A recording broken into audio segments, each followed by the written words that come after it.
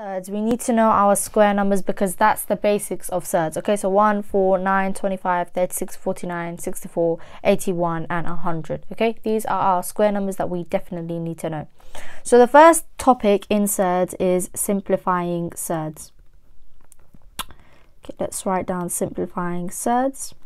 So say you're given a surd like root 48 and you're asked to simplify this.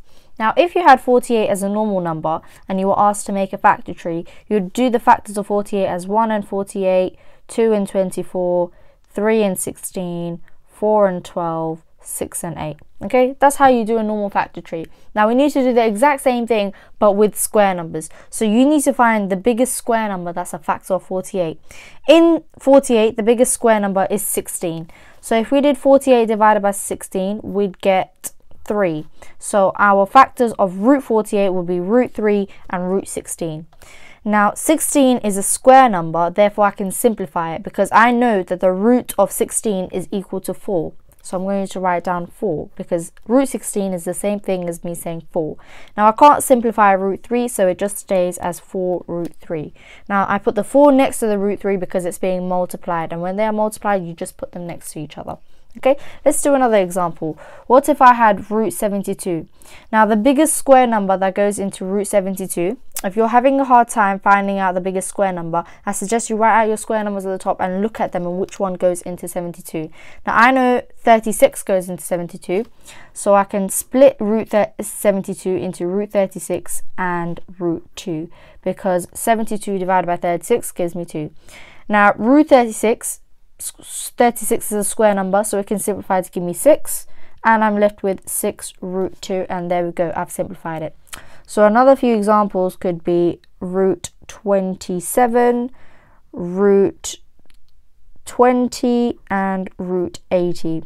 So I'm going to pause for two minutes and have a go at these three questions. Okay? Okay, now that you've had a go at these questions, let's go through them. The biggest square number that goes into 27 is 9. So 27 divided by 9 gives me 3. Now, root 9 can simplify to give me 3, and I'm left with 3 root 3. The biggest square number that goes into root 20 is root 4. 20 divided by 4 gives me 5. Now, root 4 can simplify to give me 2, and I'm left with 2 root 5. Now, 80, can, the biggest square number that goes into 80 is 16. 80 divided by 16 gives me 5. 16 simplified, root 16 simplified gives me 4, so I'm left with 4 root 5. So there we go, we've simplified these surds. Now, what if my surd looked something like this?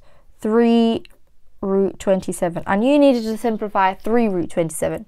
Now, remember when a number is next to a surd it's being multiplied. So I can write this as 3 times root 27. Okay, now I'm going to simplify root 27. The biggest square number in root 27 is 9. Um, 27 divided by 9 is 3. Now remember, I need to bring this 3 down because it's being multiplied by this surd, okay? So, I brought the 3 next to it, so it's 3 multiplied by root 9 multiplied by root 3. Root 9 simplifies to give me 3, so I've got 3 here, and I've got root 3 here, and I'm going to bring this 3 down. So 3 times 3 times root 3. Now these three, these two are numbers, whole numbers, so I can multiply them out. 3 multiplied by 3 gives me 9. So my final answer is going to be 9 root 3. Okay? Another example is if I had 5 root 28. Now this 5 is being multiplied by root 28. If I wanted to simplify root 28, the biggest square number that goes in it is 4. 28 divided by 4 is 7. Now the 5 is being multiplied by these two roots. Root 4 can simplify to give me 2 and root 7 stays. Now the 5 is still being multiplied by them and that can simplify to give me 10 root Questions 7. for you guys to try would be 4 root 54, um, 3 root 75 and 3 root 50. So pause this video, have a go at these three questions and yeah, then I'll go through them. Okay, so you pause the video, you've had a go and let's go through them now. The biggest square numbers that goes into 54 is root 9. So 54 divided by 9 is going to give me 6. The 4 is still being multiplied by them. Root 9 can simplify to give me 3 and the root 6 stays. Now the 4 is being multiplied by the 3 and the root 6. 4 multiplied by 3 simplifies to give me 12 and I'm left with 12 root 6. Now, the biggest square number that goes into 75 is 25. So now I've got root 25. 75 divided by 25 is going to give me 3. Now, the 3 is being outside is being multiplied by these two surds. 3 multiplied by root 25 multiplied by root 3. Root 25 can simplify to give me 5. Now I've got 3 times 5 multiplied by root 3. 3 multiplied by 5 can simplify to give me 15 and I'm left with 15 root 3. Last one, the biggest square number that goes into 50 is root 25. 50 divided by 25 is going to give me 2. Now the 3 is being multiplied by them. So root 25 simplifies to give me 5.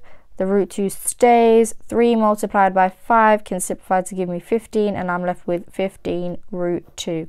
And there we go. That's how to simplify surds.